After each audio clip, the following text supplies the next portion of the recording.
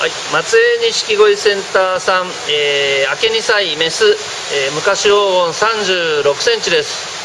えー、昔黄金の中でも黒いタイプの昔黄金です、えー、実際プールに入れてしまうと若干色が垢抜けてしまうんですが、えー泳いでる時はもっと黒いです。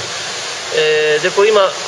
い日差しが入っているのでさらに、えーシルバーっぽく見えますけど肉眼で見ると本当はちょっと黒いんです。これブラックタイプと言ってるやつです。はい横から行ってみましょう。はいよはいいいよはい OK です。